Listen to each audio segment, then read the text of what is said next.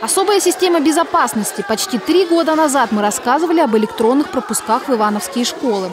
При входе в учебное заведение установлен турникет. Здесь ученик отмечается с помощью пластиковой карты и только после этого попадает внутрь. Турникеты хоть и не везде действуют и сейчас, но есть ли в них смысл? Мы отправляемся в 31-ю школу, но не с главного входа, а со двора. Здесь новым гостям не удивляются, просят снять пальто, и вот мы в школьной столовой. Сейчас здесь детей нет, все на уроках, однако сидят и сотрудники скорой помощи, и люди в погонах. Вкусно обедаем меньше, чем за 50 рублей.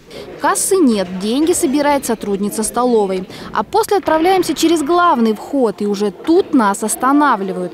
Посторонним вход воспрещен. Здравствуйте. А мне сказали, тут столовая, можно пообедать. Можно. А как пройти? Через тот. Через тот вход, а через этот нельзя? Здесь у нас дети проходят.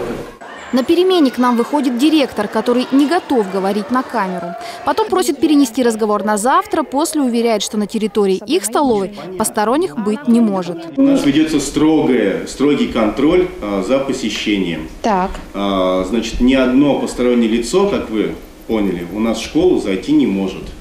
А в столовую? А, в столовую тоже у нас э, доступ посторонних людей запрещен. Если в столовую кто-то заходит, то это или заходит, значит, э, это заводятся продукты у нас, только так. Однако показания руководства школы расходятся со словами учеников. В столовую, да. А там взрослые бывают какие-то? Ну да, бывают. А как, много, часто?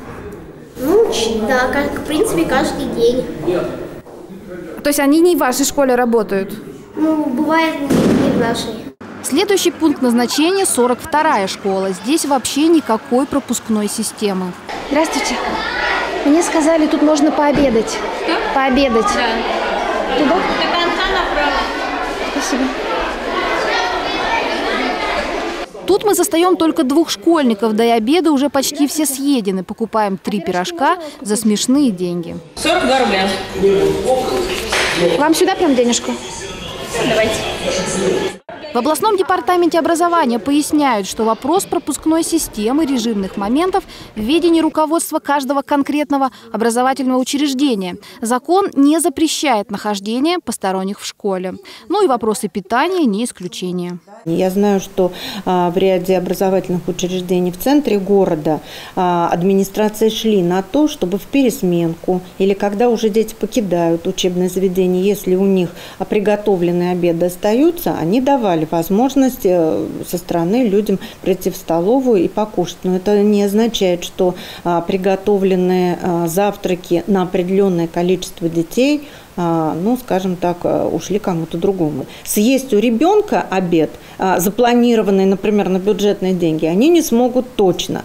Итак, получается, что закон не препятствует нахождению в образовательном учреждении посторонних. И обедать дети могут в любой сомнительной компании.